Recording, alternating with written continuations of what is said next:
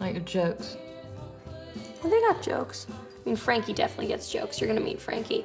She's finishing up some research, but she's gonna move here, and I think we're getting an apartment together. Oh, yeah?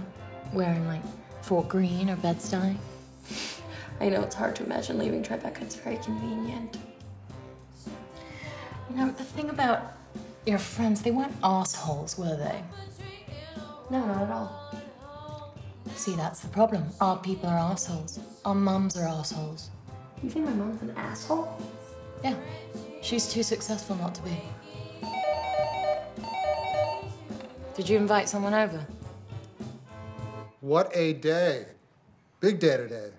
Long day. What have you guys been up to? I had this meeting in Midtown today. It went so well. The guy sent me to this other guy in Soho, but I didn't have a Metro card. So when I told the guy in Midtown. Who Midtown, are you? Who am I? You remember Jed? We met him at Ashland's party. Oh, you're not the guy who makes those videos where you act like an imbecile against a badly painted scrim, are you? That is I. Oh, I don't like you.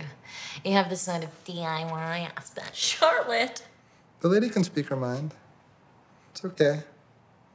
Are you guys hungry? Not hungry. We just ate a little while ago. You ate recently, or Are you hungry? Or I am hungry. Well, then you should get some food. Well, maybe if I had more money in my bank account, I would get some food. you don't have to pay for food. We have so much frozen stuff here, including my dead hamster. Do you have any wine? I don't think so. Let me check, but I don't think so.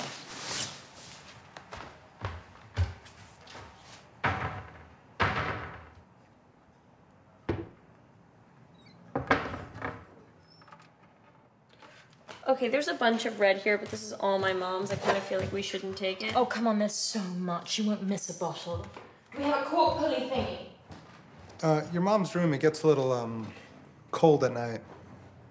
Yeah, I think there's a little bit of a draft. Yeah, there's a pretty big draft. It's noticeable. It's annoying. I'm gonna take your sister's room. Okay.